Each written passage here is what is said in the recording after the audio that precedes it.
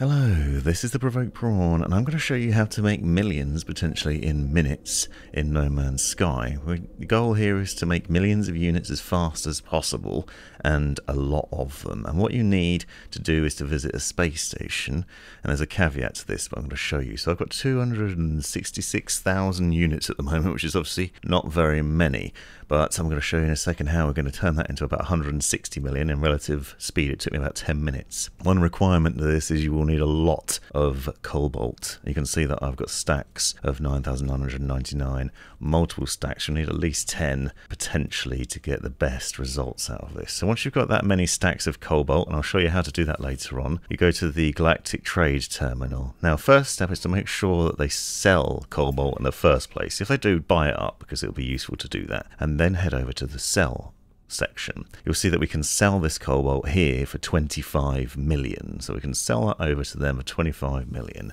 And then what we can do is we can go back and we can buy it back again for 4 million. So you can sell it for 25, buy it back for 4. So we've now made uh, an extortionate amount of money. So we've gone from 266,000 units to 20 million units with relative speed. And you can see I still have all my cobalt. So that's step one. Step two is then to repeat this process by visiting every space station you've been to. So if you've walked to a multitude of different regions in space and you've gone to the space stations there, you can then use the teleporter to just walk to the next space station. So choose yourself a space station, head over to there and repeat the process. One thing to remember though is that you also need to make sure they sell cobalt. This is really important. The Galactic Trade Terminal needs to sell cobalt before you sell yours. You've got to make sure you can buy it from there before you sell it. Now, to get multiple space stations, you just need to warp to another region, visit the space station, and repeat that process multiple times. Once you've done that, you've got access to loads of space stations, so you can then just go and repeat this process.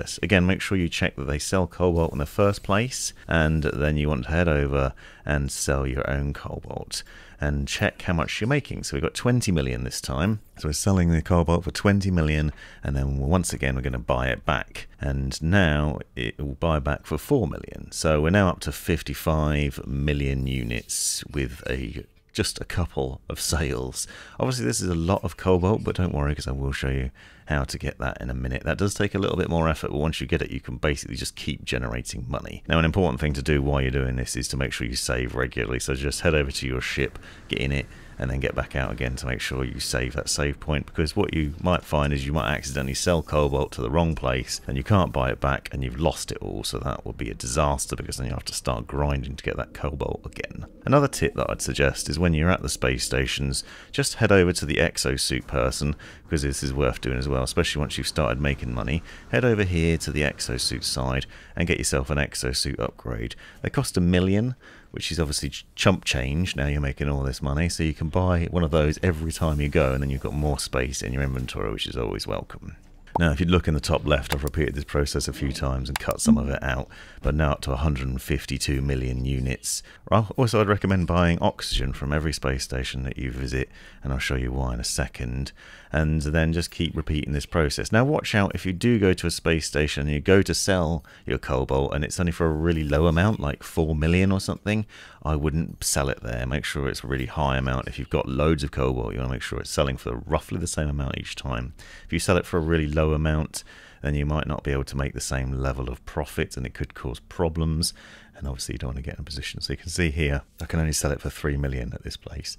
So if you sold it for 3 million, you bought it back, it might buy back for a lot more money and then you end up losing money instead of making it. And our goal is obviously to sell for more than we're buying. Now I want to show you two important ingredients to this process.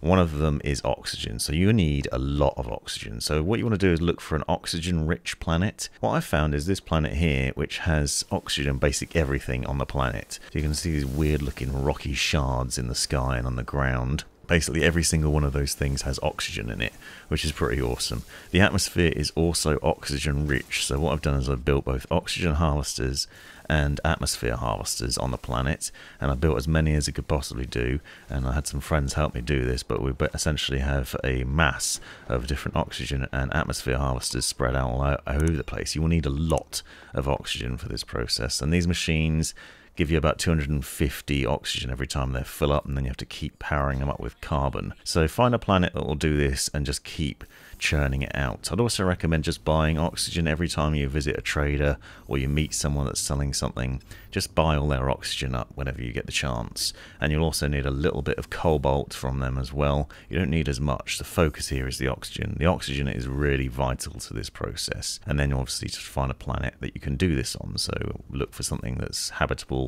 and also just absolutely heaving with oxygen. And you can see just how many oxygen harvesters I've got going on here. So you need a lot in order to do this as quickly as possible and to optimize it. And the next point is to build a large refiner. We're going to use this to combine the oxygen with some cobalt. So I've already already got loads of cobalt, but let's just pretend for a minute that I haven't and you've only got a little bit. What we're going to do is we're going to put it in with the oxygen and that will make ionized cobalt. And what it does is it actually gives you a much higher ratio of ionized cobalt than you have cobalt. So you put in a little bit of cobalt, you get a bit more of ionized cobalt in. So I'm just going to demonstrate that now. So what you can see is you put 20 cobalt in with your oxygen and you end up with 50 ionized cobalt. So we've more than doubled the amount of cobalt by essentially turning it into ionized cobalt with a higher level. Once you take your ionized cobalt and combine it with oxygen, you're also increasing it there. So you can see I've got 50 ionized cobalt. That is now going to generate into 300. So combining things with oxygen increases them. We repeat that process again by dragging the ionized cobalt back over to the other side and generate it again. We're now taking 300 into 1800. So we've gone from a very small amount of cobalt into a massive amount of ionized cobalt. So that's obviously really good. And it doesn't take that long to do. And if you've got multiple refiners, you can do this multiple times really easily. Once that's done, then just delete out the oxygen. And now we're just going to take the ionized cobalt that we have and you are going to process that. So you can take your ionized cobalt and you can put it in on its own and then you can process that back into cobalt. So you can see 10 ionized cobalt goes into 20. So if you have absolutely loads of ionized cobalt, you can process that back into cobalt. So what you're basically doing is taking oxygen and cobalt, maximizing it into ionized cobalt, then turning it back into cobalt at a much higher level, and then you end up with stacks and stacks and stacks and sell them all for profit. This has been the Provoked Prawn. Thanks for watching. My God. Mostly ferrite dust. Where are you? Oh my god, what is that? Look, That looks like found Alf. dude. Henry, Henry, come Oh, look at wow, this. look at him. Looks like Alf. Can you ride that thing? Bet you I am riding him. Wait, what? Are you? Well, are you? I can see a backpack sticking out the top. Are you just Oh, inside it or something? But you're wearing yeah. like a mascot costume. I'm the backpack. Oh yeah, you can tell it's because he's got like the